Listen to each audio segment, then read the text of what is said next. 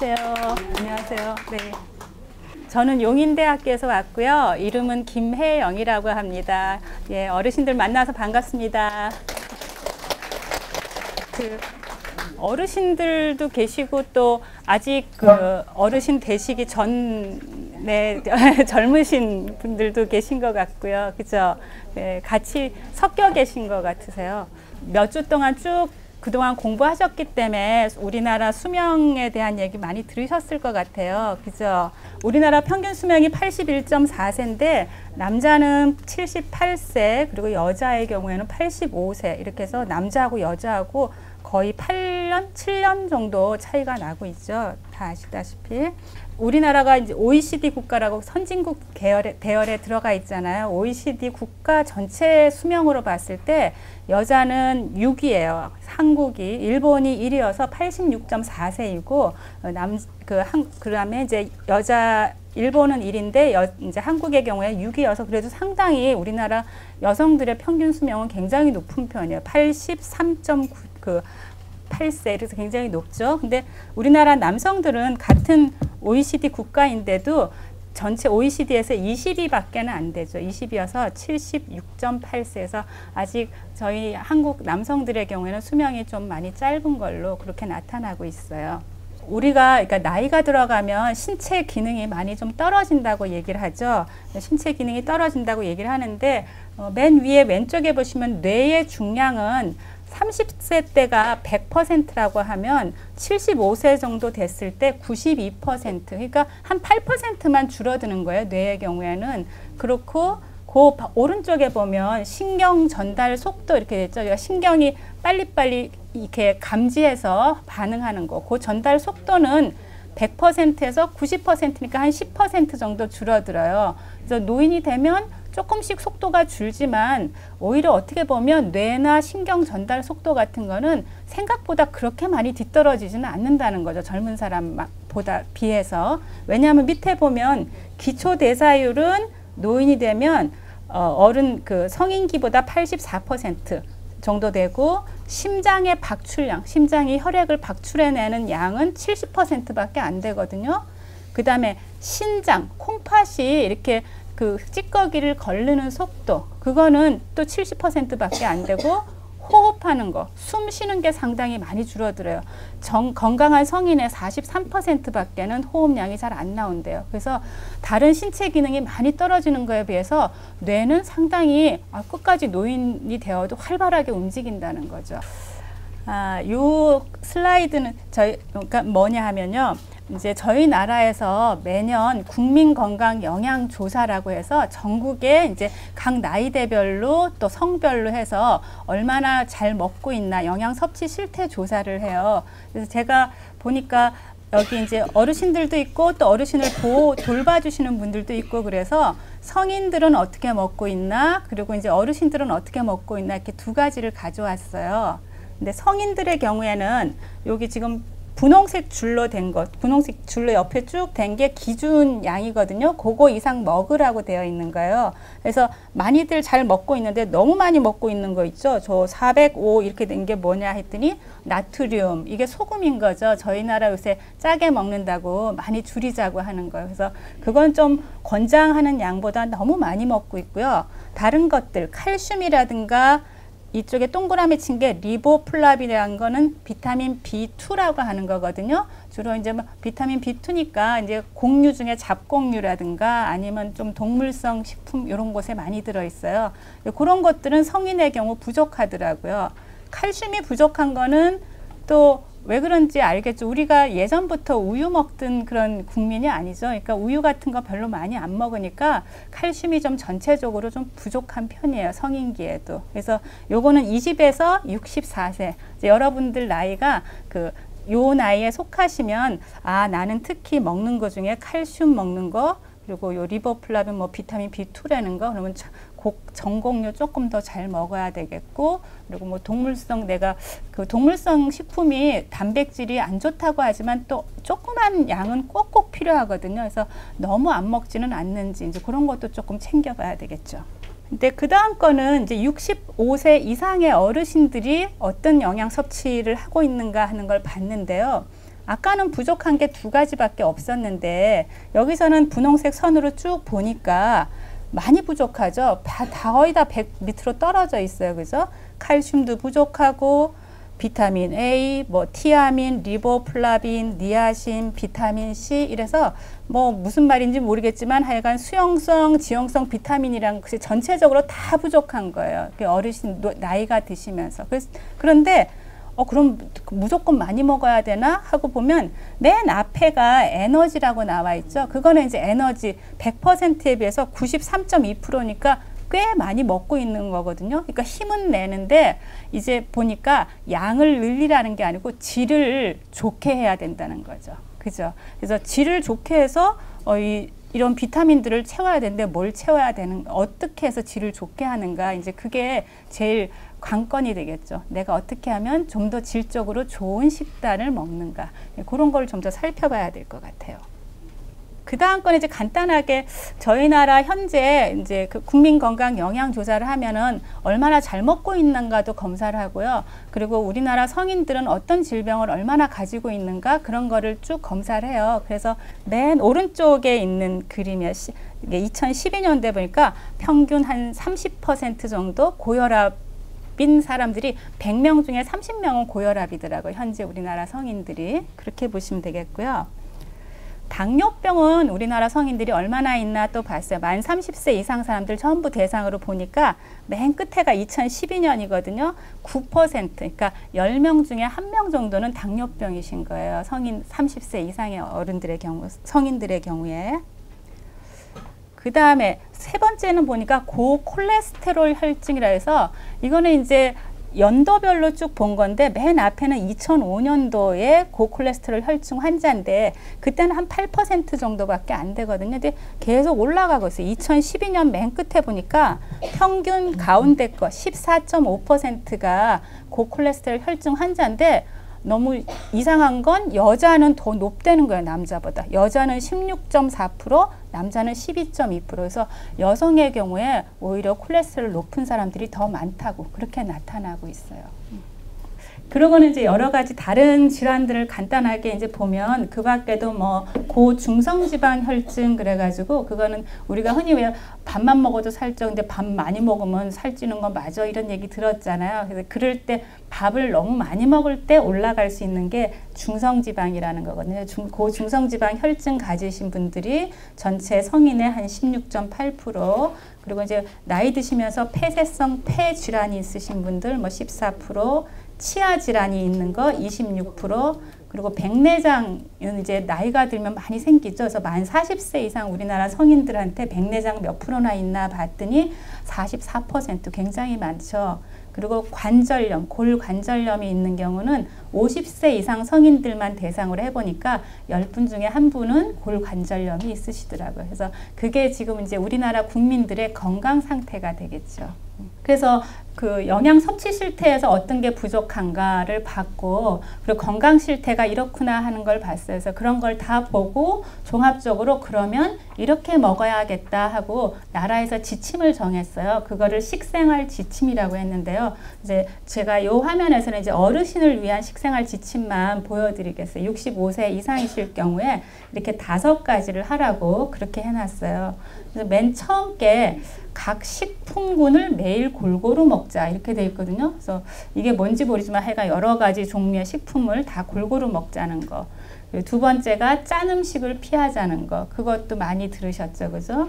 그 다음에 세 번째가 식사를 규칙적으로 하자는 거예요. 그러니까 그 이제 가능하면 새끼를 꼬박꼬박 소량으로 꼬박꼬박 정, 정확한 시간에 드시는 게 가장 바람직하고 배탈도 안 나고 좋다는 거죠. 요즘에는 안전하게 섭취하자는 게 굉장히 또 중요하게 생각을 해요.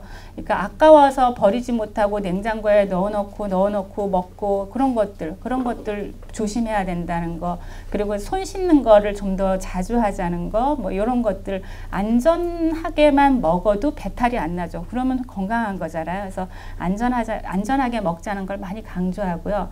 그리고 물 많이 마시자고 얘기하고 술은 적게 마시자 이렇게 해서 어, 어르신 어르신들은 별로 해당 사항은 없겠지만 보통 술 하루에 만약에 드시면 적정 섭취량이 어느 정도냐 하면 남자는 성인의 경우는 이제 하루에 두 잔, 여자는 한 잔 이렇게 저희가 지침을 얘기하고 있어요. 근데 그것도 65세 이상이 되면 줄어들어요. 그래서 남자 성인도 어르신은 하루 한 잔 이내로 줄여져 있어요. 그래서 이제 그거를 조금 기억하시면 좋죠. 네. 그리고 마지막으로 이제 활동량을 늘리고 건강 체중을 좀 잘 유지하자. 이런 식으로 지침을 이렇게 다섯 가지 지침을 어, 제시하고 있어요. 글쎄 그렇게 지침이 있는데 그럼 그렇게 해서 도대체 또 어떻게 먹어야 되나 이제 그게 또 계속 관건인 거죠. 그래서 이제 그런 식생활 지침에 따라서 어떻게 먹어야 될까 하고 놓은 게 식사 구성안이라는 거예요. 자전거 모형에 보면 색깔이 여섯 가지 색깔이 있거든요. 그래서 이쪽 왼쪽에 노란색은 이제 곡류, 밥 종류가 있겠고요. 곡류, 뭐 감자, 고구마, 어, 국수, 빵 이런 게 있죠. 그거는 1인 분량 한 공기, 그러니까 제가 여기 밥 하나만 가져왔는데 밥 요거 한 공기 먹으면 이제 300칼로리가 나오는 거예요. 그래서 요거 그래서 밥 한 공기 300칼로리 그 정도 나오는 거죠. 그리고는 그 보라색은 이제 고기나 생선, 계란, 콩, 콩류 이제 그런 거는 어, 양으로는 종이컵 있잖아요. 종이컵 그거 가득 채우면 한 200, 200g 정도 들어가거든요. 가득 채우면. 예, 그거 3분의 1컵 정도 먹으면 1인 분량이에요. 고기. 너무 조금이죠. 예, 네, 그렇게 조금이에요. 그거 한 그냥 제가 인심 써도 그거 반 개. 예, 종이컵의 반 정도만이 1인 분량이세요. 그러니까 한 번 먹을 때 1인 분량이 그만큼이에요. 예, 그만큼으로 그러니까 고기로 뭐 하루에 한 번, 두 번 먹으면 중간에 두부로 한 번 먹고 이렇게 고기나 콩이나 생선이나 다 합쳐서 생선도 조기 조그만 거 하나 있죠. 그거면 1인 분량이에요. 그거 이상은 과, 과한 거죠. 어떻게 보면. 예, 근데 이제 그렇게 돼서 어쨌든 그거를 하나 한 토막 먹거나 종이컵 반, 그 반컵 정도 드시면 80칼로리가 나온다는 거예요. 그리고 그 밑에 가면 이제 녹색 있죠. 녹색은 채소 종류죠. 채소는 칼로리가 되게 적어요. 지금 저희가 이제 종이컵 어차피 종이컵으로 얘기를 했으니까 종이컵 그 반 개 어, 반이나 고 종이컵에서 한 3분의 1컵 정도 먹으면 최소 1인 분량이라 그러거든요. 그러니까 숨이 죽었을 때. 예, 그러니까 숨이 죽었을 때니까 왜냐하면 너무 그 한 컵 다 채우면 또 짜지잖아요. 그죠? 그래서 종이컵 조그만 걸로 한 반 컵 정도 먹으면 15칼로리밖에 안 나요. 채소는 칼로리는 굉장히 적죠. 그리고 그 밑에 보면 이제 과일이 있죠. 예, 과일의 경우는 여기 이제 사과가 보이실 거 사과 반 개, 아니면 귤 조그만 거 한 개. 그 정도 먹으면 50칼로리가 나와요. 그러니까 여전히 밥을 따라가지 못해요. 그죠? 밥 한 공기 300칼로리 이렇게 나오니까. 그리고 그 다음에 유지방, 그러니까 유제품들, 우유나 그런 것들, 우유 한 컵 있죠? 우유 그 조그만 팩 하나, 그거 먹으면 125칼로리가 나오고, 그 다음에 제일 가느다란 게 기름이에요. 기름은 조그만 그 찻숟가락 하나? 그거가 45칼로리예요. 엄청 많이 나오죠. 그죠? 어, 예, 꽤, 꽤 많이 나요. 우리 숟가락 그냥 숟가락은 이렇게 푹 들어가지는 않으니까 숟가락에 가득 뜨면 아마 그것도 한 100칼로리 될 거예요. 어, 한두 차 숟가락은 꽉 채울 수 있으니까 그래서 기름이 은근히 칼로리가 굉장히 높다는 걸 알 수가 있죠. 어, 여러 가지 식품군을 이렇게 여섯 가지로 나누어서 골고루 먹자고 말씀드린 거는 각 식품군들, 그러니까 비슷한 역할을 영, 역할을 비슷한 역할을 하는 식품들끼리 모아서 여섯 군으로 놔둔 거거든요. 그래서 각자 하는 역할이 다르기 때문에 다 골고루 먹어야겠다 이렇게 구분을 해놓은 거예요. 아, 그렇게 해서 그러면 그럼 여러 가지 식품군 지금 한뭐 1인 분량 먹었을 때 몇 칼로리 나온다는 걸 알았는데 그럼 각각 식품군을 내가 하루에 몇 번 그러면 그런 걸 먹어야 되는가 하는 거예요. 여기서 제가 두 가지로 보여드리려는데 이제 성인의 경우, 그러니까 20에서 64세인 경우에 20에서 64세인 경우에 왼쪽은 이제 남자의 경우에 하루에 몇 번 드세요 하는 거고요. 오른쪽은 여자의 경우에 하루, 하루에 몇 번 드세요 하는 거예요. 근데 보면 우유는 이제 보통 우리가 권장하는 게 하루에 한 잔 정도 드시면 좋겠다고 얘기를 하거든요. 근데 어르신들의 경우에는 특히 우유를 먹으면 배탈이 나는 경우들이 많아서 어, 어르신 그러니까 우유를 못 드시면 두유를 드셔도 괜찮다고 그렇게 보고 있어요. 왜냐하면 두유에도 요새는 칼슘이 상당히 들어가 있거든요. 우유를 꼭 먹었으면 하는 게 좋은 단백질도 들어있고 더하기 칼슘이 많이 부족해져서 여성들은 특히 나중에 뒤로 갈수록 골다공증이 심각해지기 때문에 그래서 우유를 못 드시면 두유로 하루에 한 잔 정도는 드시는 게 좋겠다고 그렇게 얘기를 하고 있죠. 그리고 고기, 생선, 계란, 콩은 보니까 남자는 뭐 하루에 다섯 번, 여자는 네 번 그랬는데 아까 네 번 해봤자 그 종이컵으로 아주 넉넉하게 줘도 두 컵이면 하루 종일 먹어야 되는 거예요. 더 이상 드시면 과한 거예요. 그거 다 이제 그것도 도로 살찌는 대로 가버려 지방으로 넘어가 버리거든요. 그래서 그 정도 종이컵으로 꽉꽉 채워도 두 컵밖에는 두 컵 이상 드시면 너무 많은 거죠. 음. 그렇게 되고요. 그 다음에 채소의 경우에는 하루에 일곱 번 그렇게 놨죠. 일곱 번이라고 해놨는데 아까 그 일곱 번이래 봤자 얼마 되겠어요? 그 조그만 종이컵으로 세 컵이에요. 그러면 아침에 할 때 그 한 컵, 그죠? 이렇게 반찬 두 개면 뭐 김치 하나랑 다른 뭐, 뭐, 뭐, 뭐 오이지 하나랑 콩나물 하나면 그 정도 하면 한 컵 먹으실 수 있죠. 그죠? 그렇게 해서 하루에 세 번 드시면 필요한 채소 충분히 드신 거예요. 됐죠? 네. 그리고 과일의 경우는 이제 남자는 칼로리가 많이 필요해서 하루에 세 번 그랬고 여자는 한 번 그랬는데 뭐 사과 반 개 정도, 뭐 귤 한 개 정도 그 정도 드시면 양으로 봤을 때 그만큼 드시면 좋고요. 맨 밑에가 공유인데 공유는 이제 하루에 그러니까 지금 세 공기 반이에요. 여자의 경우 3.5회니까 그러면은 밥으로 뭐 이제 한 공기, 두 공기, 세 공기 게 드시고 다른 거 군것질하는 거 뭐 떡이라든가 뭐 감자라든가 이런 거 드시니까 밥으로 뭐 한 3분의 2 공기에서 한 공기 드시고 다른 거는 떡이나 감자나 뭐 고구마 이렇게 드시면 된다는 거죠. 이제 그래서 그거를 이렇게 사진으로 찍은 모습이에요. 아침 식사 여기서 보니까 쌀밥에 계란국에 그 다음에 호두랑 멸치 볶은 거. 그러니까 호두는 불포화 지방산이 많아서 인지 기능, 뇌 발달에 굉장히 좋다고 하고 멸치는 거기에도 우유 저기 그 우유와 유사하게 칼슘이 많이 들어 있죠. 그래서 좋은 거. 그다음에 시금치, 나물, 배추김치. 이렇게 하면 좋은 식단이 되는 거예요. 보통 식단을 구성하실 때 우리가 보통 이제 한식 먹을 땐 밥에 국을 드시니까 밥에 간단한 좀 맑은 국하고 그 다음에 고기나 생선이나 콩 종류 반찬 한 개. 그걸로 양을 얼마나 드시라고요? 종이컵 반 개만, 예, 그 정도만 드시고, 그 다음에 나물로 두 개 정도의 나물을 이렇게 드시면 한 끼 식단으로 충분하세요.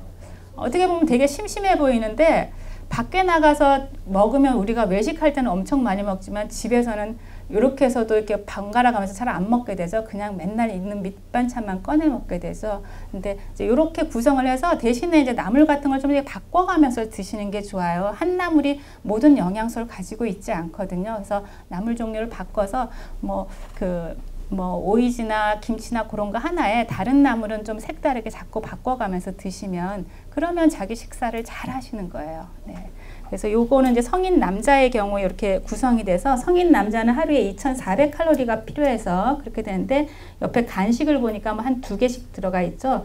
아침하고 그 사이에 사과랑 우유 한 잔, 점심 때는 백설기하고 오렌지 주스, 뭐 저녁에는 바나나 해서 어, 여유, 여분의 칼로리는 이렇게 구성을 하고 있고요.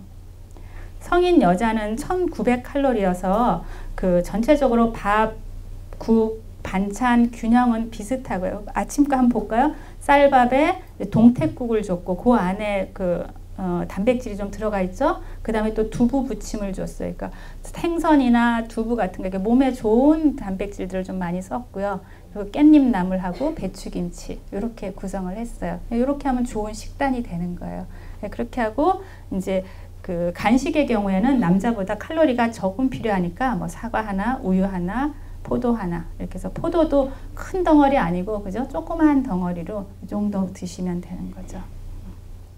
조금 전에 이제 그 성인의 경우 보여드렸는데 노인의 경우도 비슷해요. 그냥 어, 지나가려고 하는데 맨 위에 보시면 이제 65세 남자의 경우에 하루에 필요한 칼로리가 2000 칼로리. 그래서 아까 성인 남자는 2400 칼로리였거든요. 그래서 조금 칼로리가 줄어들었고 65세 이상 여자의 경우는 1600칼로리. 그래서 성인 여자는 1900칼로리였는데 그것도 한 300칼로리 줄어들어요. 그러니까 밥의 양이나 전체적으로 양만 조금씩 줄어들면 되고 전체적으로 구성하는 이렇게 음식들 다양한 식품들은 다 골고루 드시는 게 좋죠. 그래서 아까 얘기했듯이 어르신들, 노인들의 경우에도 우유는 하루에 한 잔, 그러니까 우유 아니면 두유로 하루에 한 잔씩 꼭 드시는 게 몸에 좋죠. 네. 다른 것들은 비슷해서 지나가겠습니다. 요거는 65세 이제 남자 어르신의 경우에 식단 구성해 놓은 거고요. 65세 여자, 여자 어르신의 경우에 식단 구성해 놓은 거. 네, 그런 식으로 이제 만, 맞춰서 드시면 어, 그 여러 가지 그 성인병들도 다 많이 잡아줄 수 있고 성인병을 결국 잡으면 그 치매를 예방하는데 굉장히 도움이 되는 거죠. 왜냐하면 혈관이 막히면 혈관이 막히면서 신경도 기능을 못하고 그렇게 돼서 인지 기능이 떨어져서 치매가 되는 거거든요. 그래서 여러 가지로 성인병을 막아주면 치매 예방하는데도 굉장히 좋은 도움이 되고 있어요. 어, 얼마 전에 이제 그 세계 여러 장수 지역들은 어떤 음식을 먹는가 하는 게 이렇게 나왔었거든요. 그래서 보니까 우리나라 같은 경우 채소라든가 된장국, 김치 같은 이런 발효식품들 그런 것들이 굉장히 장수촌, 우리 한국의 장수촌에서 많이 먹는 음식들이라고 이렇게 그 나왔었고요. 일본의 경우에는 뭐 이렇게 푸른 생선 같은 것들 그리고 돼지고기의 경우에 이렇게 기름기를 쫙 뺀 그런 삶은 돼지고기 같은 거를 어, 장수촌 주요 음식이라고 그, 그 제시를 했었고요. 이태리 같은 지중해 지역은 올리브유나 적포도주를 우리가 그 건강식품으로 많이 그 얘기를 하고 있죠. 어, 중국 같은 경우에는 뭐 여러 가지 기름 종류인데 그 식물성 기름이니까 불포화 지방이 많죠. 그래서 그것도 마찬가지로 치매 예방에도 상당히 도움이 되고 있어요. 그런 것들이 알려져 있고 어, 그, 그 밖에 이제 요 밑에 불가리아 같은 데 보면 요구르트, 그 발효유, 발효 요구르트가 굉장히 장 건강에 좋죠. 장이 튼튼하면 또 몸이 굉장히 건강해지는 거죠. 그래서 요구르트 옆에 뭐 그 여러 가지 마촌이란 것도 마찬가지로 발효 음료, 요구르트와 유사한 발효 음료 이런 것들이 장수하는데 좋은 음식으로 그렇게 많이 알려져 있어요. 그래서 이제 제가 그 다음에는 저희 나라에서 이제 100세 이상 사신 노인들 네, 그분들을 한번 이렇게 조사한 거를 자료를 가져와 봤어요. 우리나라에서 100세 이상이신 분들이 2010년도 자료가 지금 제일 최근 자료거든요. 전체 나라에서 모은 걸로 그랬을 때 현재 1,800여 명이 계셔요. 꽤 많으시죠? 거의 한 2,000명 정도가 100세 이상의 노인들이 계신 거예요. 전국에. 여기 2010년도였는데 2005년도에는 100세 이상의 노인이 1000명이 안 되셨어요. 960명. 그러니까 5년 사이에 두 배가 늘었어요. 100세 이상이. 그렇게 되면 2015년 되면 거의 4천 명 정도 되시지 않을까 싶어요. 그죠? 이게 굉장히 그 건강하게 오래 사시는 노인들이 많아지시는 거예요. 그러니까 여러분들도 전부 100세 이상 사실지 몰라요. 왜냐면 5년마다 두 배씩 이렇게 숫자가 늘어나고 있으시기 때문에. 그죠? 예. 그렇게 보는데 그 밑에 이제 남자하고 여자를 구분해서 보면 남자는 100세 이상 사신 분이 250명 정도시고요. 여자는 1580명. 예, 여자가 거의 대다수예요. 그죠? 예, 여성 어, 거의 85% 정도는 여자 어른이 제일 많고요. 이제 여러 어르신들이 100세 이상 사실 확률이 굉장히 높다고 하는 이유 중에 하나가 또 이거예요. 각 시도별로 봤을 때 가운데 보면 경기도 길다란 거 있죠. 경기도에 제일 많아요. 100세 이상 노인. 우리 전국에서. 네, 전국에서. 그래서 경기도에 100세 이상 노인이 360분 계세요. 360분. 네. 그렇죠. 특히 여성 노인들이 많으시고요. 그래서 이제 그 어르신들한테 여쭤봤어요. 어, 왜 오래 산다고 장수하는 이유가 뭐라고 생각하세요? 그러고 봤더니 식습관, 절제된 식습관. 너무 과하게 드시지 않고 규칙적으로 드시는 거. 그걸 제일 중요하게 생각하시더라고요. 그, 그러니까 절제된 식습관, 그 다음에 규칙적인 생활, 그죠? 생활 리듬을 각자 다 가지고 계셔서 굉장히 규칙적으로 사실 때 오래 사시더라고요. 그 다음에 세 번째 너무 중요한 건 낙천적인 성격. 예, 그것도 굉장히 중요한 것 같아요. 그래서 이렇게 세 가지를 굉장히 중요하다고 꼽으시고 맨 앞에 보면 유전이라고 있어요. 물론 유전도 정말 무시 못해요. 그죠? 똑같이 잘해도 유전적으로 더 오래 사시는 분도 있고 덜 사시는 분도 있는데 유전적인 요인보다 이렇게 절제된 식습관, 규칙적인 생활, 낙천적인 성격 이게 더 중요하다고 생각하신 거죠. 그래서 아 이건 그러니까 결국은 우리가 만들어 갈 수 있는 거구나. 그죠? 백세가 되는 거 이거는 내가 하기 달려 있구나 하는 생각이 많이 들게 만드는 부분이에요. 고령 어르신들 그 100세 이상 어르신들이 좋아하는 식품들을 그냥 물어봤는데요. 채소류를 제일 좋아하셨고요. 그다음에 이제 육류도 좋다고 하셨고 생선류, 생선류 좋다고 말씀하시고 콩 제품, 과일 뭐 이런 순으로 많은 어르신들이 좋아하는 식품이라고 얘기를 하셨고요. 싫어하는 건 어떤 거 있으세요? 했더니 우리나라 지금 100세 이상 어르신들은 밀가루 음식 싫어하시는 분이 한 100명 중에 그러니까 35% 그러니까 3명 중에 한 분은 밀가루 음식이 싫다 그러셨고 아까 육류는 좋아하는 음식에도 많았는데 또 싫어하시는 분도 되게 싫어하세요. 싫어하시면 3명 중에 한 분은 또 싫다고 하시고요. 견과류 싫다고 하시는 거는 이제 단단해서 그런 것 같아요. 100세 이상 되시니까 이게 단단한 견과류는 싫다 그러신 것 같고 우유는 네 명 중에 한 분은 싫다 그러셨거든요. 우유는 원래 그러니까 우리가 그 배탈 나는 그런 게 많기 때문에 싫다고 하시고 그러셨어요. 예, 음주를 어느 정도 하시나 여쭤봤더니요. 그 100세 이상인데 현재 마신다는 분은 100명 중에 한 8분 정도 되셨어요. 그러니까 거의 다 이제 술은 거의 아, 원래 안 하셨거나 중간에 끊으셨 중간에 이제 안, 안 드시거나 그렇게 됐고요. 흡연도 마찬가지였어요. 현재 피우시는 분은 3.6% 그러니까 100명 중에 한 4명 정도만 흡연을 100세 이상인데 하시고 거의 대부분은 피운 적이 70% 정도는 피운 적이 없으셨다고 얘기하셨고 피웠었던 적이 있는데 이제 그만 안 피웁니다 하시는 분들도 한 네 분 중에 한 분은 그 정도 되셨습니다. 네, 요거는 아까 이제 그 노인 건강 어떻게 하면 장수할 것인가 하는 거 다시 한번 이제 한번 정리해 놓은 거고요. 결국 식생활, 식사 관리를 잘하고 운동 관리 잘하고 본인의 스트레스 관리를 잘하고 이렇게 하면은 100세 이상 갈 수 있다는 거죠. 그 다음에 이제 저희가 보면 한국 노인의 경우에 이제 치매 그 숫자가 굉장히 늘어나고 있어요. 그죠? 그래서 지금 요 그 그림 그래프에 보면 2013년도에 57만 명, 57만 6천 명이 지금 치매로 판정 받으신 숫자세요. 노인들 중에. 그래서 65세 이상 중에 57만 명이 현재 치매로 판정 받으셨는데 그게 2020년이 되면 84만 명이 될 거고 2030년이 되면 130만 명, 2040년에는 200만 명이 치매 노인이 될 거래요. 그래서 굉장히 걱정이 되죠, 그죠? 그래서 앞으로는 이렇게 좀 더 이 치매 어떻게 하면 노인 점점 나이 드신 노인이 많아지는데 치매를 어떻게 하면 좀 줄일 건가 좀 더 그런 쪽에 정말 신경을 많이 써서 봐야 될 것 같아요.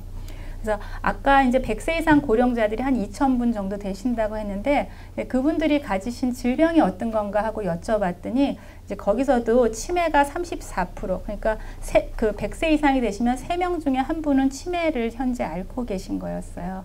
그리고 그리고 그 다음 두 번째로 많은 게 골관절염 28.9%가 100명 중에 한 30분 정도는 관절염이 있으셨고요.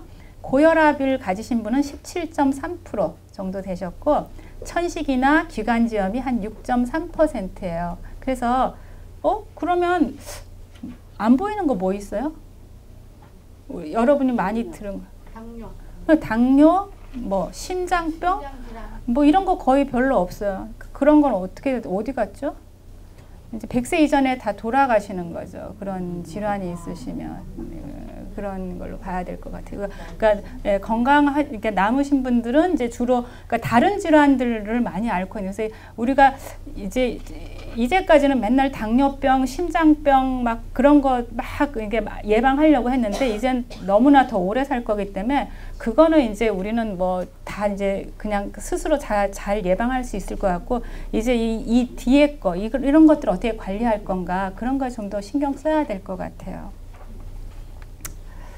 이제 치매가 그래서 제일 이제 앞으로 정말 이렇게 고민하고 걱정해서 어떻게 하면 이게 건강하게 오래 살면서 치매 안 걸릴까 이제 이거를 많이 생각을 해야 될 것 같은데 치매는 여러 가지 이제 위험 인자도 있고 보호 인자도 있죠. 어, 유전적인 요소 같은 거 치매 걸릴 유전을 타고난 경우에는 뭐 할 수 없겠죠, 그죠? 그래서 그 유전적인 요소도 위험 인자가 될 수 있고 생활 습관 중에 흡연을 하는 경우 고혈압 같은 그 혈압의 위험 요소가 있는 경우 그런 경우에 치매에 걸릴 확률이 좀 더 높다고 해요. 예, 그렇게 하고 좀 더 나이가 드시면 이제 60세 넘어가면서 뇌졸 뇌졸중에 이제 어, 그 뇌졸중을 겪으시거나 우울증을 겪거나 아니면 어, 뇌, 두, 뇌, 두뇌 부분에 손상을 입으시거나 그럴 때 이제 치매 걸릴 확률이 높아지는 거죠.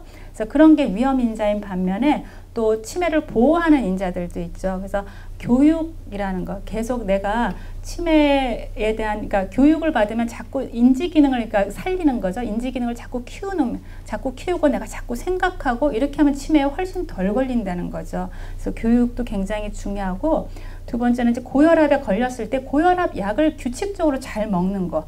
그렇게 약을 먹다 안 먹다 하면 혈관이 터졌다가 막혔다가 다시 살아났다 그러죠. 그러면서 혈관이 더 망가지는 거죠. 그러니까 혈압약을 꾸준히 먹는 것도 치매를 보호하는 인자 중에 하나라는 거죠. 그 밖에 이제 음식의 경우가 굉장히 중요하죠. 음식 여러 가지 뭐 불포화 지방산이 많은 생선이라든가 채소 종류, 음주 너무 과하게 하지 않는 거, 이제 그런 것들 음식이 굉장히 중요하고 그 다음에 다양한 사회 활동하는 거, 운동하는 거 아까 얘기했던 거 그런 것들도 치매를 보호하는데 굉장히 좋은 도움이 된다고 보고 있어요. 먹는 거하고 인지 기능하고 어떤 거 관련성이 있는 게 뭐가 있을까? 어떤 거 드시는 분들이 인지 기능이 더 좋을까? 뭐 이런 걸 좀 조사를 해 봤어요. 그래서 전체 한 410, 416명 그 정도의 어르신을 대상으로 조사를 했는데요. 건강하신 분은 인지 기능이 좀 떨어지신 분들보다 훨씬 더 이 식품군 개수를 더 많이 드시더라고요. 그래서 다섯 가지 식품군을 다 잘 드시는 게 예, 치매에 안 걸리는데 굉장히 중요하다는 거죠. 그 노인이 되면서 자꾸 이렇게 소화력이 또 떨어지잖아요. 그래서 골고루 먹으면 좋은데 어떻게 먹으면 좋을까 또 그런 것들에서 일단은 이제 초점을 좀 채소 과일이 굉장히 중요하다는 걸 한번 강조를 드리고 그걸 좀 잘 먹는 방법을 좀 생각해 보려고 했어요. 근데 채소 과일류들은 다 여러 가지 이제 작용, 피토케미칼이라는 그런 성분을 가지고 있죠. 그래서 그게 하는 작용이 기억력을 많이 증가시켜서 알츠하이머 질병을 예방하는데 굉장히 도움이 되고 있어요. 그럼 내가 이거 좀 더 골고루 먹는 걸 좀 더 조금 이렇게 나누어서 어떻게 음, 다 먹었나 알, 해볼 수 있지 하시려면 과일 채소를 색을 다섯 가지 색으로 우리가 구분을 해요. 근데 그 다섯 가지 색깔마다 들어있는 영양소가 다 다르거든요.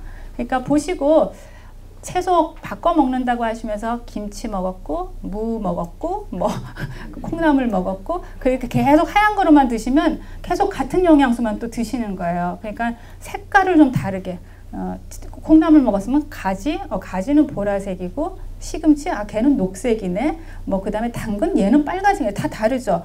걔네들은 아주 다른 영양소들을 가지고 있으니까 색깔이 다른 것들을 좀 이렇게 바꾸어서 드시면 훨씬 더 건강에 좋습니다. 그 보니까 채소나 과일 이렇게 나이 들면서 소화가 잘 안 될 때 그 아, 먹긴 먹었는데 이거 맨날 먹다가 나는 계속 배탈 나는데 그럴 수 있잖아요. 그래서 그래서들 많이 이제 권장하는 게 나이 드실수록 죽으로 드시거나 겨울에는 따뜻하게 죽을 좀 해서 드시면 좋고 여름에는 주스로 해서 드시면 좋아요. 그래서 채소나 과일 주스를 갈아서 여러 개를 한꺼번에 넣어서 갈아서 먹으면 식이섬유가 들어오고 내가 그렇게 많이 씹지 않아도 소화가 잘 될 수 있잖아요. 그래서 그런 방법을 쓰시면 굉장히 효과가 좋죠. 그 일본에서 한 연구에 따르면 하루 이제 일주일에 세 번 이상 그렇게 채소나 과일 주스를 먹거나 아니면 죽을 먹거나 그렇게만 해도 알츠하이머 병이 어 그러니까는 76%나 감소했대요. 그러니까 내가 어, 어떻게 되는지 알겠죠. 그러니까 100% 걸렸어야 되는데 100명 중에 걸릴 사람 100명 중에 76명을 안 걸렸다는 거죠. 이것만 먹었는데 또 25명만 걸렸고 먹는다고 다 안 걸리는 건 아니지만 굉장히 많은 사람들이 치매를 예방할 수 있었다는 거예요. 마지막 부분에 이제 제가 그 책의 뒤에 보면은 이제 한식으로 드실 때 어떻게 하면 두뇌 건강에 좋은 어, 한식을 드실 수 있는 식단들을 쭉 나열을 했어요. 아까 제가 얘기한 뭐 채소, 과일은 여러 가지 항산화 비타민이 많이 들어있고 뭐 식이, 전곡류는 식이섬유가 많이 들어있고 어육류에는 단백질이 많고 견과류, 종실류, 생선군 이런 것들 불포화지방산이 많고 또 뭐 엽산도 그 인지 기능 많이 개선하는 데 도움이 되고 해서 이렇게 군별로 나누어서 예, 녹황색 채소 식단 뭐 그다음 종실류 식단, 전곡류 식단, 어육류, 채소류, 엽산 식단 이렇게 해서 어, 식단 예를 놨으니까 이거대로 뭐 하실 필요 없이 아까 그렇게 쉽게 보시면 돼요. 밥, 국에 반찬 세 가지. 그 난 너무 심심해. 그러면 반찬 네 가지로 이렇게 하셔도 더 사실은 더 좋고요. 그렇게 해서 잘 구성해서 드시면 될 것 같습니다. 네, 감사합니다.